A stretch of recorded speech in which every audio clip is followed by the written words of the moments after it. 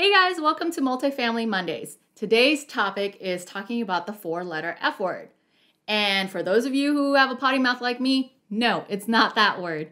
But today I'm excited to bring in a new guest. So, with that in mind, I hope you enjoy it, okay? Here we go. Hey guys, this is Multifamily Monday with Michael. I'm a guest on the Create Wealth Network. Today I want to talk about the four letter word that is fear. And, you know, I've seen this so many times in, in different meetup groups, different seminars, weekend retreats, whatever. And you, kind of, the, the speaker, the host of the seminar will say, Oh, like, good to see you, so and so. And they've been going there for five years. Maybe they've gone to the same seminar five times. And they usually ask them, Hey, have you closed a deal yet? Have you started anything yet? And the person who's been there five times or the same seminar for five years, well, no, I'm still, you know, waiting for the right deal. And what's what's really happening there is is fear. They're held back by fear, and um, they have that initial thought. They they're they don't want to be complacent. They want to improve where they are, and they're getting all the knowledge they need to move forward. But it's that fear that's holding them back. And and maybe that's where you are today. Is you're dipping your toe in. You're you see where you are, see where your friends and family are, and you know that you can go farther, do better, you want to do better for yourself and your family, and you're learning the tools to how to do that, but the biggest thing may be holding you back is fear. So how do you how do you combat that? And that's that's the biggest stumbling block I think for most people. And really it's just challenge yourself every day to do one thing towards your goal that may be intimidating. And you know, one of the things for me was um, reaching out to agents and, and calling in new markets. And I think just doing that one thing, even knowing that it's going to suck and it's not going to be good the first five times, like my five, first five cold calls were super awkward and I didn't get any information out. They could clearly tell I was a newbie. But after those first five calls, at least by the time I got to where I wanted to close on a deal, I at least came across more comfortable, more confident, and less fearful. And, and so that's why I really encourage you guys is to just take progressive small steps in your fear. This isn't going to be something you're going to overcome overnight. It is every day do one thing out of your comfort zone and it'll get you slightly closer to that goal.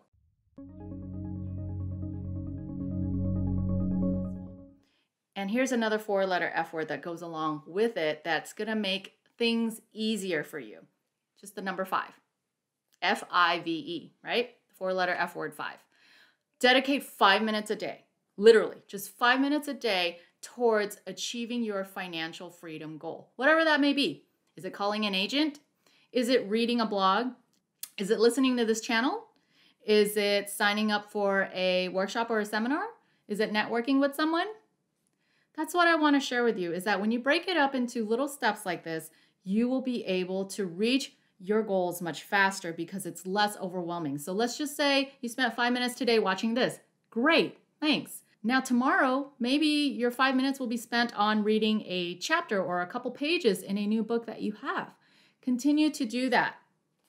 Just so perhaps you want to pick a state that you want to look into. So maybe today, five minutes after this, you're going to look into, I don't know, Ohio or something. Well, guess what? Ohio has a lot of counties and cities. Where do you want to go? Well, maybe tomorrow spend some five minutes or more on where you want to be. And then the day after that, the five minutes could be identifying five agents that you can call and to get to know. And I know people say cold calling a lot, but I like to call it warm calling. Approach it warmly so it won't be as cold calling. Be yourself, be friendly. And, you know, I believe in honesty. If you need to be transparent, tell them, hey, I'm new at this, but I'm going to buy property. What do you have going on in this market? It's a great way to start a conversation, right? Don't be afraid to fail. You're going to get a lot of no's, a lot of people not uh, caring about you, not answering your inquiries, but don't let it stop you there. Continue your journey. So, when you break it down into five steps or five minutes, the number of five, it makes things easier instead of feeling overwhelmed. And that's what I do daily. I want to encourage you to act. I think that's the most important part. Even if everything is not perfect, even if you don't have everything in front of you, just move forward, whatever it may be, to get towards your financial freedom goal. And just dedicate five minutes a day. And if you're already watching this channel and learning from this channel, chances are you've gone over the biggest hurdle, which is getting your mindset ready to learn and ready to grow. So continue on from that. Don't let it stop you. And if you feel overwhelmed, break it down into five steps.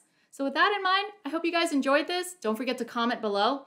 Let us know what are your common fears or what are some of the fears that you overcame when you were first starting or that you're working on right now in real estate. We can't help you much on fears in other areas, but in real estate, we're here to try to help motivate you and get you to where you want to be. So, thanks for watching, guys. And if you haven't subscribed, please subscribe. And if you haven't checked out our website, go to www.letsgocreatewealth.com. You'll have a wealth of resources there to learn from. Take care and let's go create wealth. I'll see you soon.